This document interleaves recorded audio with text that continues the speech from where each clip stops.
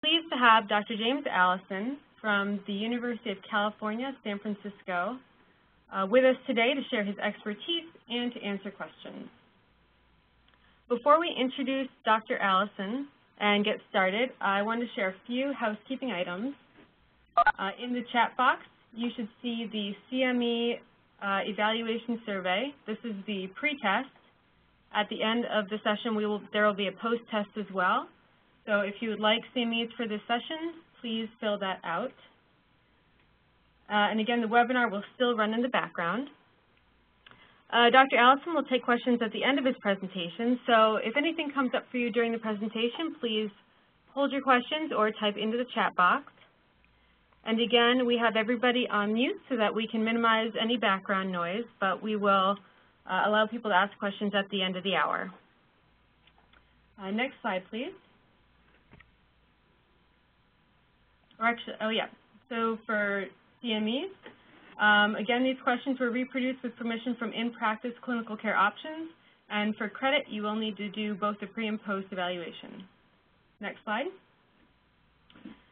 In terms of disclosure, neither the Maine CDC colorectal cancer control program, the Maine Primary Care Association, nor James Allison, MD, holds any financial interest in any of the products or models referenced in this program. There are no conflicts of interest, commercial support, endorsement of products, or off-label use recommendations. Funds for this project are made available through award number 5U58DP002063 from DHHS CDC and Prevention and the Maine Cancer Foundation. So without further ado, we are thrilled to have with us Dr. James Allison. He is a former Kaiser Permanente Medical Group physician who retired in 1998 after 24 years of service. He was a full-time gastroenterologist and educator at the Oakland Medical Center, where he devoted the majority of his time to patient care, administration, clinical research, and teaching. In 1996, he received the Lowell Beale MD Award in appreciation of his example of academic excellence combined with warm humanity. Since his retirement from TPMG, Dr. Allison has been a member of UCSF's faculty and an adjunct investigator at Kaiser Permanente's Division of Research. He is Clinical Professor of Medicine Emeritus at UCSF and a member of the Division of Gastroenterology at San Francisco General Hospital.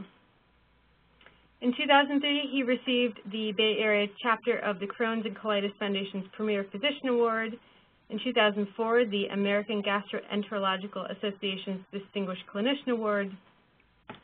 And, uh, you know, not to shortchange Dr. Allison, but there are just so many accolades and um, citations that could go on forever, but I just would love to pass it off and voice our sincere appreciation for sharing your knowledge uh, for so many clinicians here in Maine.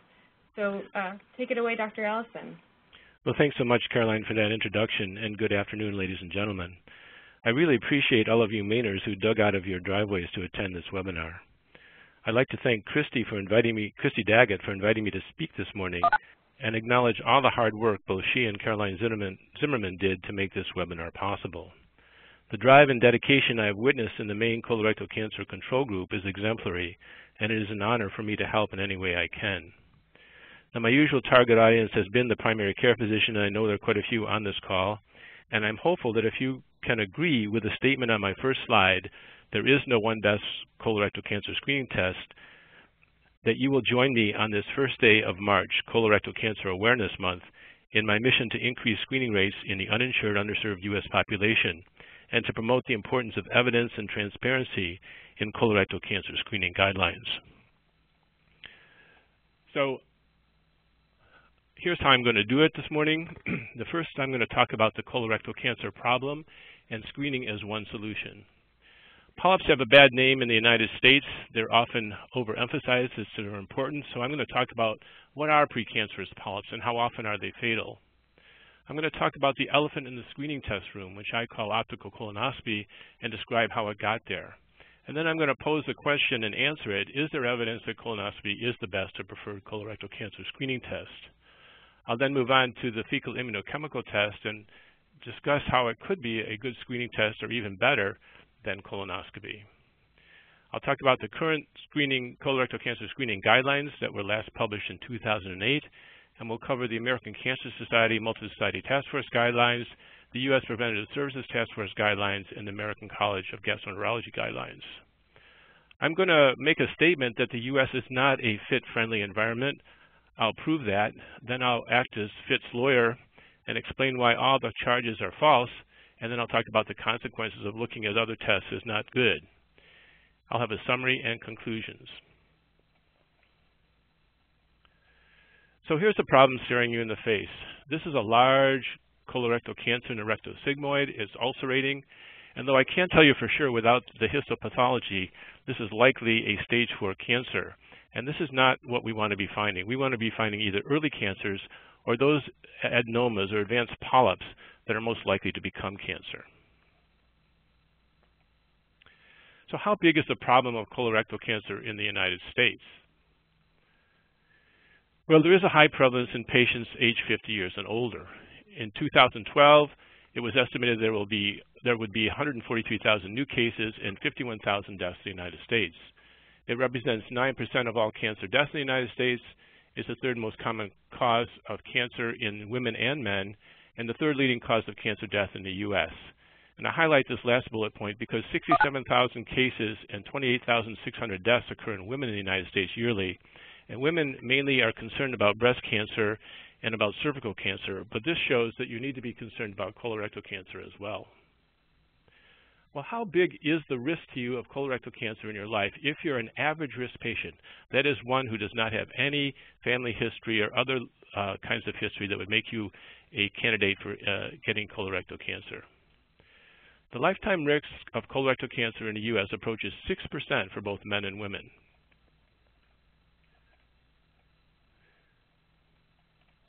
I'm sorry. Almost 50% of those affected will die of this disease and that's mainly because it's found in the late stage. But if you make it to age 50, at age 50 your lifetime risk is 5% of being diagnosed with colorectal cancer and 2.5% chance of dying from it. And this is an important bullet point I want you to remember because this means that any test you use, you can, you'll apply to a patient 97.5 times with no effect in decreasing mortality to find the 2.5 that will. And when you use colonoscopy as that screening test, that's very expensive and perhaps not worth the money. So we're going to be talking about uh, sporadic cancer today. We're not, it's not that I don't think these other cancers are important, but the approach to their evaluation and uh, screening and surveillance, et cetera, is different from this group. And so we are only going to be talking about the largest part of this pie, and that is the sporadic or average risk patient. So we have these arguments for screening. In most cases, colorectal cancer develops slowly from an adenomatous polyp a process which can take up to 10 years. It may take less than 10 years. It may take more than 10 years. They all vary. The polyps most likely to become cancers can be identified and removed, and this prevents cancers. And the detection of early stage cancers allow for colorectal cancer mortality reduction. So you want a screening test that can do both. Identify these polyps most likely to become cancer and detecting the early stage cancers so you can prevent death from colorectal cancer. This is a pictorial that shows the same thing I just told you, that basically you start out with a normal colon, you may develop a small adenomatous polyp, and then eventually some of these, but most don't, become a cancer. The most important part of this slide is down here. 25% of the U.S. population by age 50 have polyps, and up to 50% of individuals will develop a colorectal adenoma or polyp in their lifetime. So if everybody who had polyps developed cancer, we would be taking care of only colorectal cancer in our hospitals. We wouldn't have room for anybody else. And this points out the fact that most people die with their polyps and not from their polyps. So let's talk about what polyps are because the, the, the naming of them in the gastroenterology literature is very scary. And I can tell you that many physicians don't understand this, and many physicians, even clinical oncologists, don't understand this.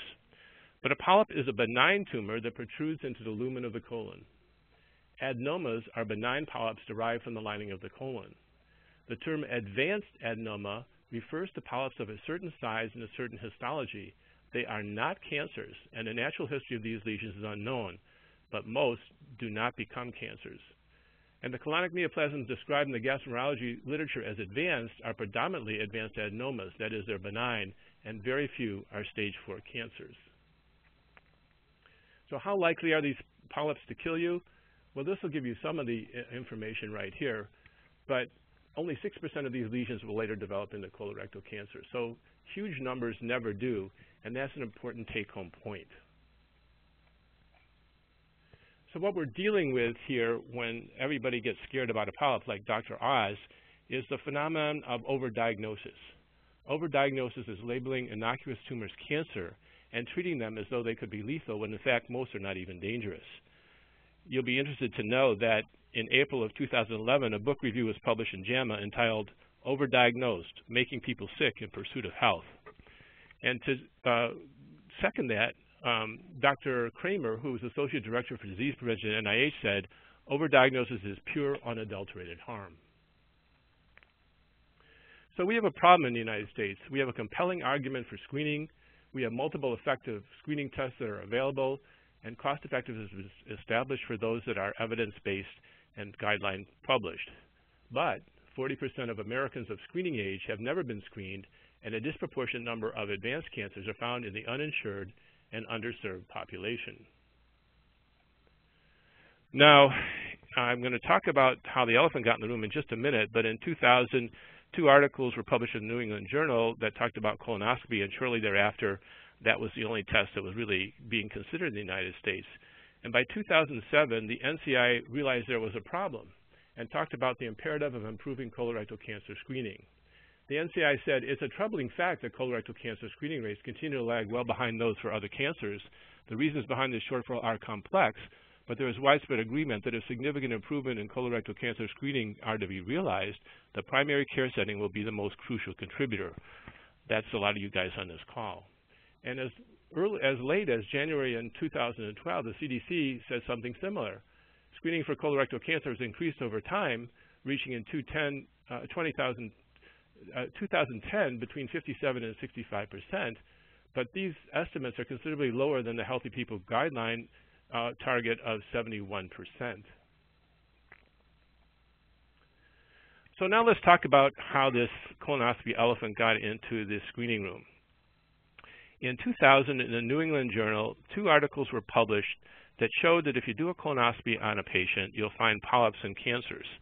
This was not uh, very revealing to those of us who are gastroenterologists and have been doing colonoscopy since the 1990s. But what happened afterwards was quite different. Before 19, before 2000, it was considered the wrong thing to do to, to population screened with a colonoscopy, to look at somebody who had no symptoms and no uh, no uh, positive tests that would lead us to believe they had colon cancer because the risks they felt were outweighed by the by the, the benefits were outweighed by the risks. And this was published in uh, 2000 in the New England Journal. And uh, at the same time, exactly the same time in 2000, the American College of Gastroenterology uh, came out with guidelines that said the same thing they did then as they, as they did when they were republished in 2009. Now, the American College of Gastroenterology are your clinical gastroenterologists. And they said colonoscopy every 10 years, beginning at age 50, remains the preferred colorectal cancer screening strategy, not saying preferred by whom. And it is impractical for a PCP to discuss six different options for colorectal cancer screening with each patient. Recommending one preferred strategy simplifies discussion. Colonoscopy is the preferred strategy because it is the best test. And of course, I will show you that there is no proof that it is the best test.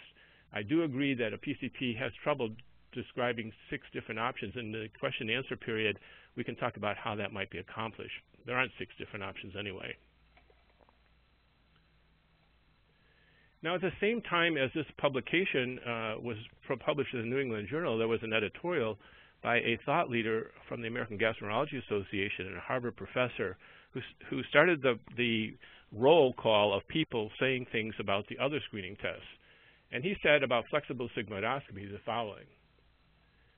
There is suspicion among physicians that in recommending flexible sigmoidoscopy to screen persons for colorectal cancer, we are promoting a suboptimal approach. Relying on flexible sigmoidoscopy is as clinically logical as performing mammography of one breast to screen women for breast cancer. And I have a brilliant, uh, a brilliant reply to that, uh, but I don't have time to show it to you unless we, you bring it up in the discussions. um, that was published in the gastrointestinal endoscopy journals uh, by uh, Dr. Deborah Fisher. Andy said, the failure of insurance companies to cover the cost of colonoscopy screening is no longer tenable. Well, that's a pretty heavy-duty message. Now, the other person who was very influential in getting people to think about uh, screening and screening with colonoscopy was Katie Couric. And other media people have also contributed. But Katie Couric was the best uh, of the people who did it and still is a great uh, uh proponent of screening for colon cancer. Unfortunately for Katie, her husband died of colorectal cancer, but he was an outlier. He was not the kind of uh, he was he doesn't really belong in the pie.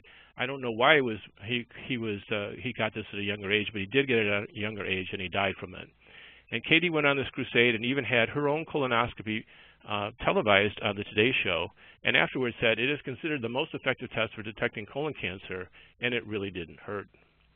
Now, if you don't think that was uh, influential, you just have to look at this article in the Archives of Internal Medicine, and you'll see that after she did that, there was a large increase in population screening with uh, optical colonoscopy. So before 2000, uh, and this one wasn't in the room at that time, but before 2000, um, mostly screening was done by FOBT and by flexible sigmoidoscopy. And after 2000, the following happened. Uh, the optical colonoscopy became the elephant in the room, essentially um, pushing out all the other options as considerations by many in the United States. And if you don't think that's still going on in the United States, all you have to do is look at this slide. Last year, I presented at the Prevent Cancer Foundation in Baltimore, and on my way with a former mentee to dinner, I saw this on the building uh, in, uh, of a hospital in Baltimore.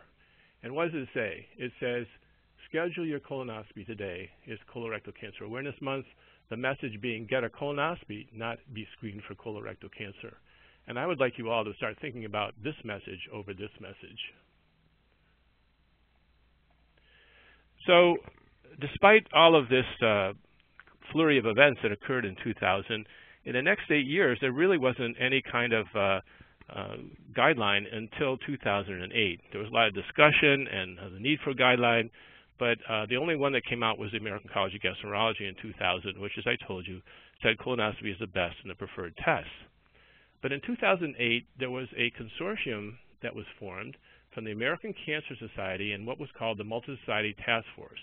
The Multi-Society Task Force is composed of uh, gastroenterologists and gastroenterology uh, uh, organizations such as the American College of Gastroenterology, the American Gastroenterology Association, the American Society for Gastrointestinal Endoscopy, and the other group that joined was the American College of Radiology. So this was a semblance of, of uh, people who were experts in the field, but not necessarily experts in evidence. And they came up with new guidelines that were different from ones published in the past, and they divided for the first time the recommended tests into two groups, stool tests and structural exams. So in the stool test, they recommended fecal occult blood testing, but for the first time, essentially said standard guaiac test, the one you're all so familiar with, Hemoccult 2, is not a good test to be using. We should be using a sensitive guaiac, which is the same as the standard guaiac, except it detects lower levels of peroxidase activity, or the fecal immunochemical test. And they also recommended the stool DNA test, which unfortunately had not been approved by the FDA and subsequently is not even available in the United States. As for structural exams, they recommended double contrast barium enema, flexible sigmoidoscopy, CT colonography, and colonoscopy. Now, embedded in this uh, document were these precautions regarding the menu of options. And they said, if fecal tests are used, the opportunity for prevention is both limited and incidental and not the primary goal of colorectal cancer screening with these tests. And what did they mean by that? They asserted that the fecal immunochemical tests, the new tests, do not find advanced adenomas, those adenomas and polyps most likely to become cancer. And then they said, it is a strong opinion of this expert panel that colorectal cancer prevention should be the primary goal of colorectal cancer screening and the providers and patients should understand that non-invasive tests are less likely to prevent cancer compared with the invasive tests. Well, there's no evidence for this statement whatsoever. But of course, this had a big effect. So let's actually look at what they're recommending by putting that uh, warning about the menu of options into their guidelines. So let's, they already said that structural exams are better than stool tests, so we'll start with structural exams. Flexible sigmoidoscopy. Well, the use of flexible sigmoidoscopy has dropped dramatically since 2000, um, partially because colonoscopy was declared the best test, but more importantly because the government reimbursement for flexible sigmoidoscopy fell to levels below that which it costs for a doctor to do them in their own office. And, and over the same period of time, there's been a big increase in colonoscopy. What about double contrast barium enema? That's the old uh, air contrast barium enema. Well, I don't know about you guys, but uh, you know, I don't know any places that do this anymore. It's certainly never been proven to be a good screening test, and unfortunately, very little screening by colon for colon cancer by this occurs in the United States. The utilization of this screening test is declining in the Medicare population, Department of Veterans Affairs, and in current clinical practice. CT colonography. Well, CT colonography is a good test. Um, it can find as many polyps and as cancers as does optical colonoscopy, but it needs to be done in very experienced hands and it has some side effects or potential side effects that are worrisome, especially radiation exposure and false positive results. So CMS ruled against covering this test for Medicare patients, stating the evidence was inadequate to conclude that this was a test worthy of its uh, endorsement. And that continues today despite extensive lobbying. And the U.S. Preventative Services Task Force guidelines did not include CT colonography on its list of recommended screening tests. So we're left with the two fecal tests, which, as you know, uh, they don't think much of. They think only uh, structural exams are good. So what these guidelines really recommend is colonoscopy. So, you know, when you start talking about uh, tests and you say one's the best and everything, there are consequences. Here's the aftermath of the results of the discussion about colonoscopy being the best test. In 2001, Congress bypassed CMS evaluation and added colonoscopy to the covered colon cancer screening test for Medicare patients by mandate. All other tests have had to go through CMS evaluation, but colonoscopy got a pass.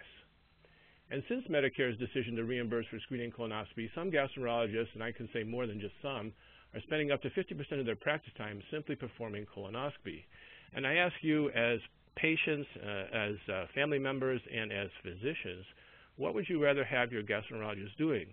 Colonoscopies on mainly normal people, up to 85% of colonoscopies in average risk patient are completely normal, and of those that aren't normal, most of those findings are not significant.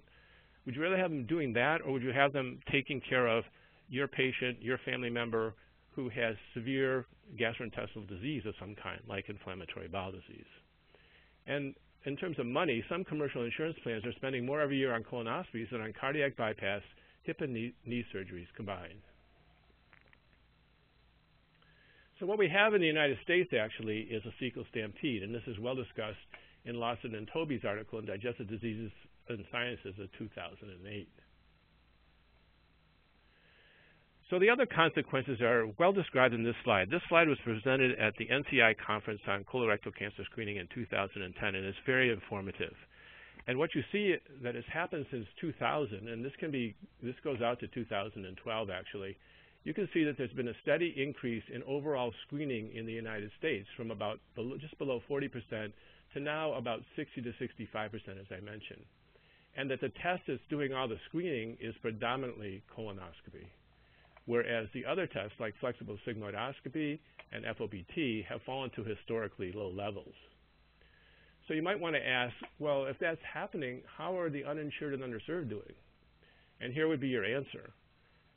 This is the, and this also can be extended to 2008 and actually 2012, that basically those people with no insurance aren't getting any of this endoscopy, and those people with insurance are.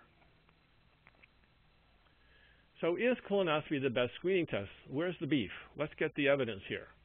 Now, the best evidence would come from randomized controlled trials and we don't have them, although two are in progress. One is in the United States in the VA system, and the other is in Spain, and I'll talk a little bit more about that one uh, in, the, in the next few minutes. So we don't have those, and when you don't have randomized controlled trials, you try to come to a conclusion of which test is best by using modeling. The modeling uses what the performance characteristics are of these tests.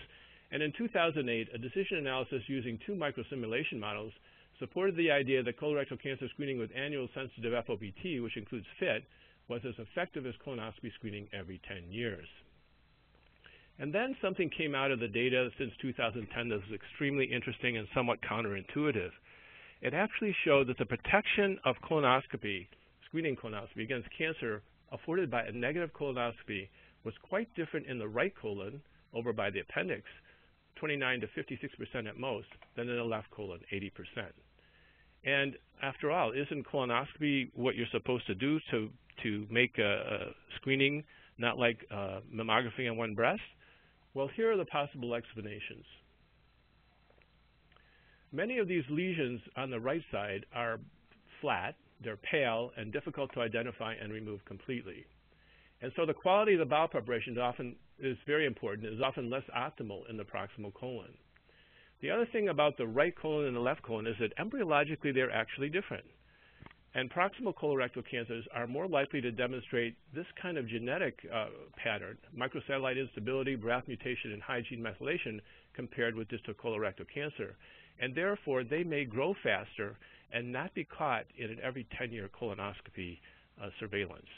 So colorectal cancer surveillance recommendations are predicated upon a slow transition from adenoma to carcinoma, but this may not be true for right-sided neoplasms. So is colonoscopy the best screening test? well, you have to also figure in when you're talking about uh, using screening colonoscopy is there's a risk. And here are some of the serious complications, and these detract from any benefit colonoscopy may have over the less invasive screening options. And evidence suggests that the manpower necessary to provide a skilled colonoscopic examination for all eligible U.S. citizens is inadequate. In a letter to the editor of the New England Journal of Medicine, a physician at Baylor College of Medicine estimated that screening their 62,008 patients, outpatients aged 50 years and older by colonoscopy would take about 30 years. Ladabaum and Song estimated that screening colonoscopy every 10 years would require 8.1 million colonoscopies per year, including surveillance, with other strategies requiring less colonoscopies and Vijan and others estimated a need for as many as 33,000 more gastroenterologists in the country if the U.S. were to undertake population screening with optical colonoscopy. So when you have a test that gets a very nice reimbursement and you have way too many tests to be done than you have people to do them, certain people may start reading certain kinds of books and they may get into the uh, idea that they can do colonoscopies as well as a well-trained gastroenterologist or colorectal surgeon. And then we get into more complications, not really achieving what we're trying to achieve uh, by doing screening. Now, last year, something very important happened, and I want to laud the American Cancer Society for this because they took a position with the Gastroenterology Societies in 2008 that FOBT was not a good test because it was not a structural exam. But last year, after a lot of soul searching and a lot of looking at the evidence, they came out with this FOBT clinician's reference resource. And they said, FOBT has been shown to decrease both incidence and mortality from colorectal cancer.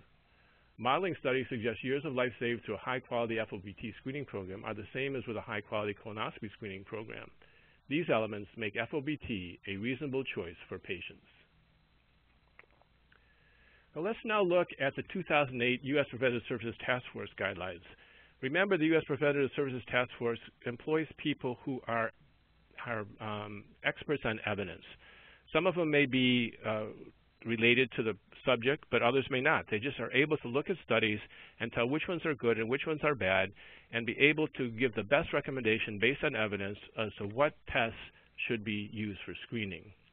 And in their 2008 guidelines, they also divided the, uh, the tests into stool tests and structural exams, but they didn't say that one was better than the other. For the stool test, they again recommended, as did the ACS Multi-Society Task Force guidelines, not using regular standard Hemoccult 2 anymore, but going with a fecal immunochemical test or a sensitive guaiac test. And for structural exams, they only recommended two, sigmoidoscopy and colonoscopy. A couple interesting things about these guidelines are the following. you'll notice no fecal DNA recommendation. You'll see no CTC recommendation. You'll see no barium enema recommendation in these guidelines. Now, the, uh, the, there are a couple of things that are innovative besides the new recommendations on the kind of fecal occult blood tests. They suggested that flexible sigmoidoscopy, which should be done every five years, be uh, accompanied by a sensitive guaiac test or FIT every three years. And what this recognizes is that no test is perfect, and it also recognizes the possibility that some tests are, some cancers are faster growing than others. So you might miss something that would be found before it becomes fatal by doing a, a sensitive fit between uh, sigmoidoscopy intervals, um, and you might also find it uh, because um, uh, there's faster growth of that particular lesion. I don't know why they didn't do this for colonoscopy. I think they should have done it for colonoscopy too, but uh, they didn't. So we'll see what comes out in the next year or two. The other thing they did, which I think is very important and has been done in Europe for years, they put an upper limit on the age for screening. If you've been screened to age 75, uh, then your chance of dying from colorectal cancer is gigantically less than, it, uh, than dying from some other things such as atherosclerotic heart disease, stroke, etc. The United States Preventive Services Task Force recommends colorectal cancer screening on a case-by-case -case basis for healthy adults without significant lifetime life-limiting comorbidities between the ages of 75 and 85. And I think individualization is a good strategy in screening, and uh, you're seeing more and more of this now in the United States. I'm going to finish this part by uh, talking about uh, colonoscopy as the gold standard. And I'm, I'm going to use as my uh, experts all the people, several people who have recommended colonoscopy as being the best test. As you may remember, Dr. Lieberman was the author of the article in 2000 in the New England Journal. And in 2004, under a title said colonoscopy is good as gold, he used Chaucer and he used Shakespeare to say the following conclusion even under ideal conditions, colonoscopy is not perfect. Douglas Rex, a professor of medicine at the University of Indiana and a very strong proponent of screening colonoscopy and that being the best test, in, at least in the guidelines that he has helped publish in the American College of, Gastro American College of Gastroenterology, at the plenary session of the American Gastroenterology Association in 2009, the very most important session, he said the following, colonoscopy is the most common screening technique for colon cancer, but a better option might be the fecal immunochemical test, which could be easy, non-invasive, effective, low risk, and inexpensive. Dr. Carrie Klabunde from the Health Services and Economic Branch in the NCI took on the idea from the ACS Multi-Society Task Force guidelines of 2008 that structural exams were better than um, fecal tests and said the following at the 2010 conference. Those guidelines state that tests providing a full structural exam of the colon are preferred over other tests. Not only do we lack randomized controlled trial data to warrant such a preference, but there is evidence that other screening options that use colonoscopy as a diagnostic follow-up test can play a role in systems that achieve high screening rates. And finally, just last year, the American College of Physicians, the premier group for internists in the United States, said the following about screening for colon cancer. Shared decision making is important when selecting a screening test because the currently available colorectal cancer screening tests are believed to be similarly efficacious. So now I want to get into FIT a little bit, and I make the assertion, which I think many of you in, in Maine will agree with, that uh, there's not a great reputation for fecal occult blood tests in the United States. So in my opinion, they're like Rodney Dangerfield. They just don't get no respect. Now, what are the FOBT options? Well, if you remember from the guideline recommendations I've already uh, put up on the screen, there are basically two. That is a sensitive guaiac test and a FIT. And there are a lot of points to be made on this slide. First of all, the price is really important. And I can tell you that although this price is what the CMS said that they would pay for this, that you can get it for much less, and I know that your leaders know how to do that. The second thing is that this test, the sensitive guaiac test, detects peroxidase activity. It requires three tests to be done uh, for each patient. And the peroxidase activity is found in human blood, non-human blood, and fruits and vegetables, and it can be altered if you take vitamin C. So lots of problems with this in terms of getting it right. And I don't think it's a, I don't think it's really a practical test to be using, and I don't think it's going to be around much longer. On the other hand, the FIT, what it detects is human globin. It has uh, antibodies to the epitopes of globin, and it detects them in the stool.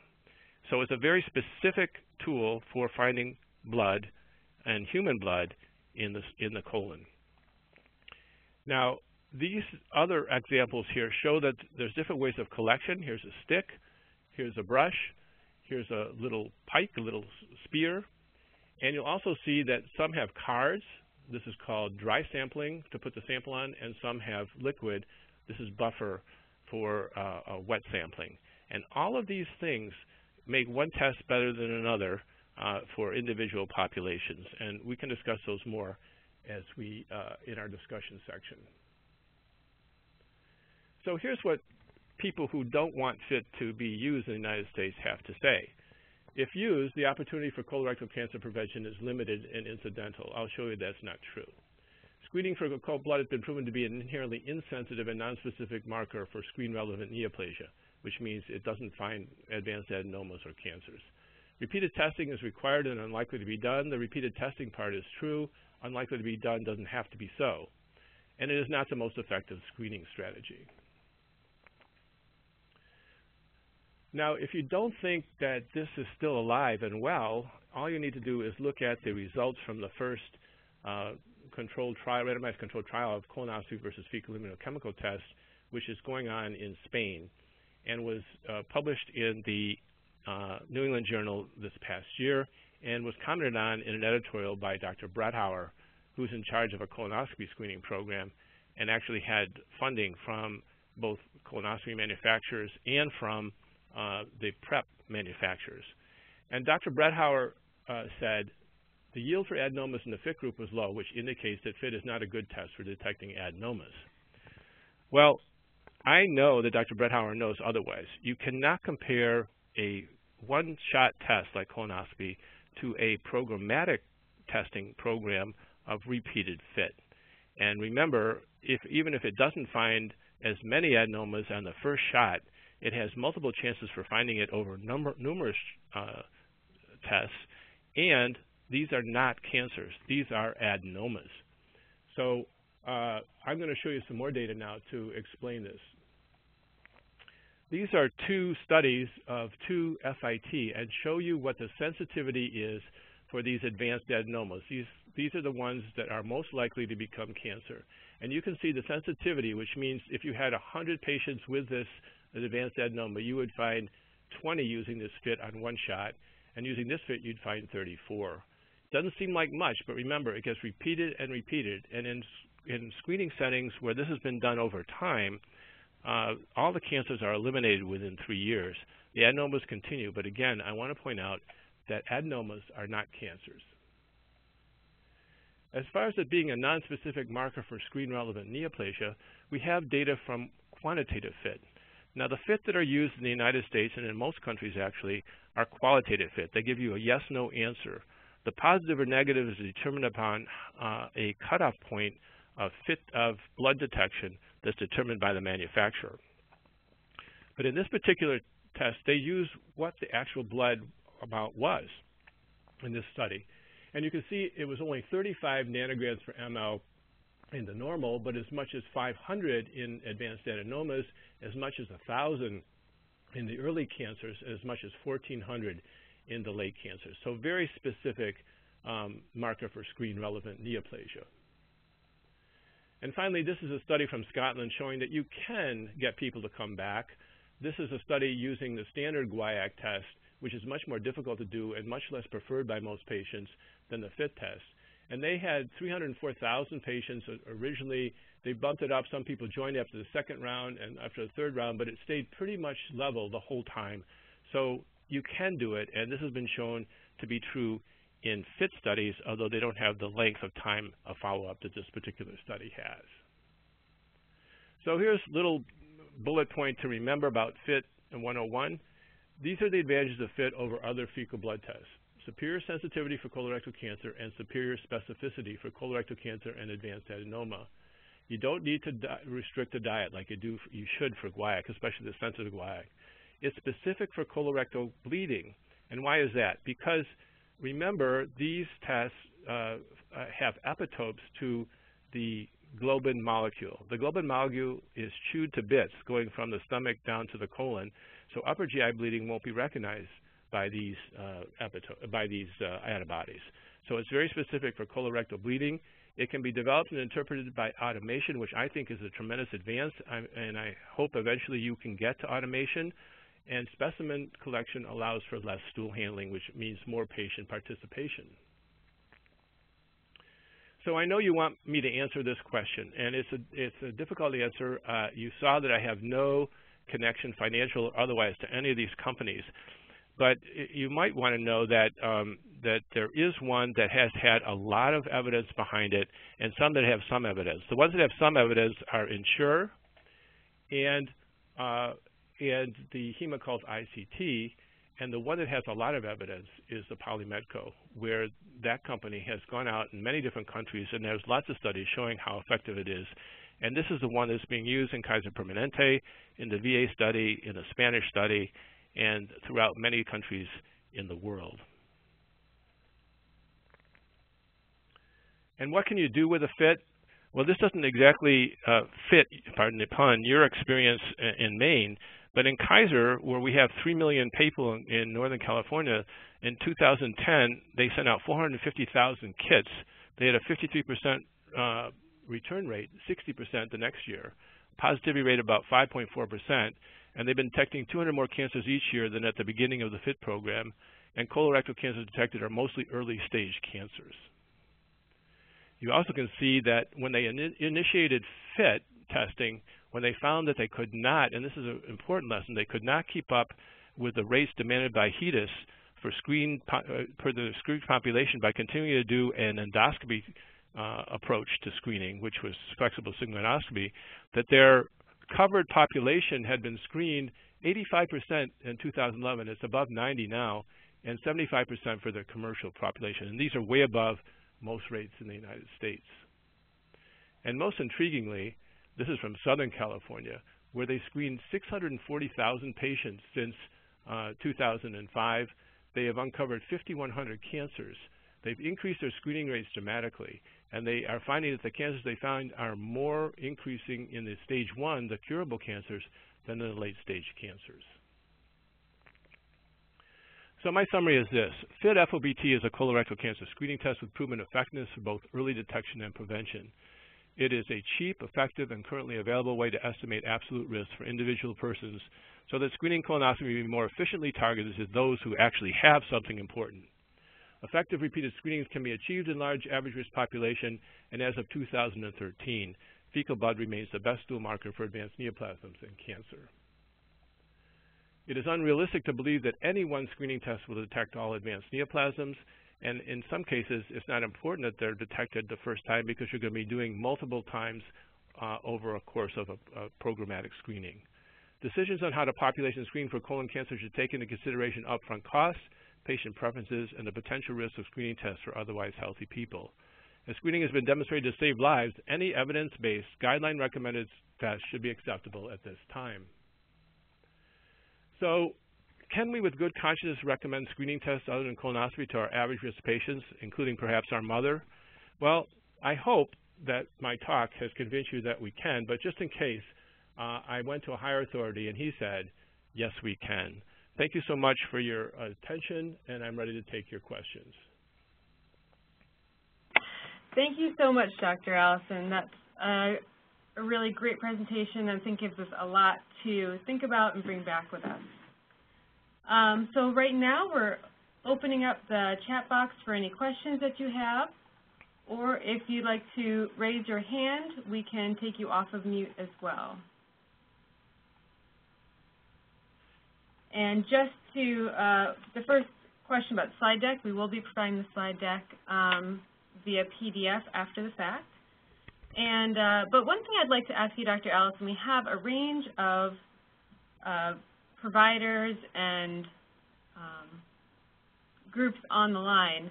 But I was wondering if you could speak at least at the start to the evidence in FQHCs and especially uh, low-income populations. I think one thing that the Maine Colorectal Cancer Control Program and MPCA are working to do is really, as you showed earlier, get those low-income and perhaps uninsured or underinsured folks screened better. So if you could speak to that at first, that'd be great. Yes, I'll be glad to. Um, it's very exciting, actually. Um, California was one of the few states that took the CDC money um, that was used to uh, help try to solve this problem and come up with a plan. And the plan was to start using FIT outreach in the uninsured, underserved population. And uh, I work at San Francisco General, so I uh, I help them uh, get in touch with the people that were doing that. And in a uh, pilot study in one of the clinics in what is called the uh, Community Health Network that serves the uninsured, underserved, they showed that they could increase their screening rates dramatically by using FIT over the standard FOBT. Uh, after more evidence came in and uh, we upgraded our databases at San Francisco General Hospital to get the CDC kind of information that they wanted, um, we have now initiated a, um, a full court press. We no longer do screening colonoscopies at San Francisco General. We only do colonoscopies on patients who are FIT positives. I can tell you that our colonoscopy rates has, as you would expect, increased, but uh, I'm hopeful to show soon that it also increased the positive predictive value of, and, and discovered a lot more cancers in polyps. This has been shown, as I already showed in the Kaiser data, but not yet uh, in um, the uninsured, underserved. But I don't see any reason why it, it wouldn't be as good. In fact, I think uh, since many of those have never been screened at all, that this will be um, that they'll have a high yield of cancers and polyps in their study population. Now we've also gone over to Alameda County Medical Center across the bay, which is also uh, a safety net hospital, and they have they were on a program of screening colonoscopy, and they weren't they weren't even touching the population. There very few people got screened in a year, and they were still doing lots of colonoscopies. Uh, so they went to a fit-based program, and they have already in one year passed their goals. They've gone up about 20% in the first year. They've actually met 30%, which is uh, their second year goal of screening that was down around 4 or 5% or 10% at the most. And I had those slides. Uh, I, I, just got those slides yesterday. I didn't have time to, to make those uh, into uh, something I could show you today. Now, there are other programs uh, around the country that are, are doing that as well. We have now a consortium of uh, university people who are interested in doing this in their uninsured, underserved populations. There's there are bases in uh, Dallas, Texas under UT Southwestern. Um, there, uh, there's other places uh, such as in Florida, and um, I'm going to forget some, I'm sure, but uh, there are a lot of places where this is happening, and everywhere it's happening, the rate, the screening rates have gone up dramatically. Great, thanks so much. Um, one other question came in via chat. How many FIT tests are considered a screen? Okay, that's a, an important question. Um, so uh, the data on the number of FIT that you actually need to do is uh, has been somewhat debatable, but it, it, it, you don't. Most people who aren't into this field, like I am, know about the debate. Um, the evidence that had been out there showed that FIT was better done if you did two tests instead of one test. And some of the manufacturers of FIT in the United States are recommending two tests now. They used to recommend three tests. Um, it turns out that um, one test is probably perfect, especially if you do um, you do it over, uh, you know, you keep repeating it over time. Um, I don't want to get into too much of this uh, scientific stuff, but I can tell you that uh, in Europe they do it every two years and they don't have any problems, and I think we can actually extend the number. But in the United States, uh, a simple answer to that question is one test is necessary, and that also helps a lot for um, you know getting acceptance of screening. I can also tell you that there's one of my fellows is working on a paper that hopefully will be published um, in the next two or three months, and he showed that the actual difference between one and two one, two, and three tests really has more to do with what the cutoff of this test was than the uh, actual number of tests. So if you had a low cutoff, you didn't miss anything uh, for a positive test. If you had high cutoff, you may miss some things, and maybe more than one test would be um, uh, better. Great, thank you. Um, another kind of bigger picture question that just came in via chat is if you have any input on how will Obamacare affect access to colorectal cancer screening? Will well, this, this is a, yeah. Go ahead. Oh, and then the second part was, will this impact the manpower problem you spoke of earlier? Um, well, uh, this is a great question, and I would love to elicit support from everybody on the call on this. Um, as I told you, uh, colonoscopy was mandated as being covered by Medicare in 2000 by Congress, and, and I know you have a lot of respect for Congress, um, but um, uh, there was no evidence behind it. And so as the Obama health care plan was uh, envisioned for screening, it, the first thing they said is, um, you know, on the basis of lots of uh, uh, input from gastroenterologists, got to cover colonoscopy as a screening test. So, of course, it covered col colonoscopy. However, to their horror, the gastroenterologists found out that it did not cover a colonoscopy that was done as a screening test and found polyps or cancers in it.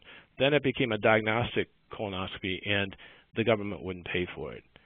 So huge lobbying groups have gone to Congress and they got that fixed only in the last week. But unfortunately, there was nobody advocating, well, there were people advocating, but they weren't being heard um, about the, the, the underserved, uninsured population and, and people who decide they don't want to have a colonoscopy, they want to have a FIT test. So in their wisdom, whatever it is, probably because somebody who really didn't know much about this wrote the law, said that if you do a FIT, they'll pay for the FIT if it's negative, and if it's positive, you have to pay for the colonoscopy.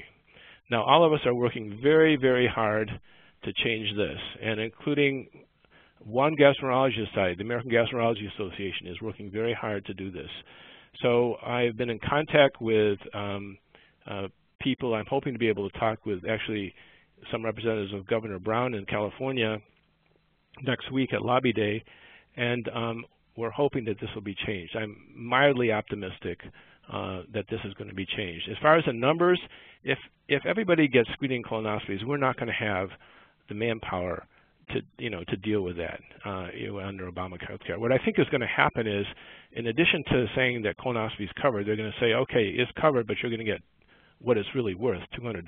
You're not going to get 500. You're not going to get 2,000. You're not going to get 5,000. And they'll be screaming and yelling and hair pulling, but uh, all of a sudden the fit will become very, very important to them because they'll know they'll only be doing colonoscopies on those people most likely to have something that's important. Great. Thank you, Dr. Allison. And I think that's a really great reminder. I'm sure Christy would say the same, that everybody should make sure that you're enrolling eligible patients into the Maine colorectal cancer control program so that they can uh, have access to colonoscopies if uh, they need it and they may not have those extra costs incurred. Uh, and one potential uh, thought that we had is to promote enrolling patients, if you are doing FIT, if patients are, are eligible, enroll them into the state colorectal cancer control program before you do the FIT, and then if it turns out positive, the state program would cover the colonoscopy. Now this is a very, very important point you're just making here, and this is a problem we have in California is that we're doing great in the safety net hospitals. But in places where there isn't a safety net hospital, you know, no, none of the private uh, people are willing to take up the cost of colonoscopy and the cost of care if you find a cancer. And that has to be in place before you start screening a population. And uh, that is the biggest, the biggest barrier to screening and disparities uh, equality that I know of. Well, thanks so much for that. Uh, I, you know, I think unless you have any other parting words, that's a great place to end as we, uh, again, really appreciate your time and your, your expertise and, you know, look forward to supporting all of our practices and promoting these best practices moving forward and increasing access to colorectal cancer screening. Well, thanks so much for that opportunity. It was, it was really delightful. Great. Thanks, and everybody have a great day.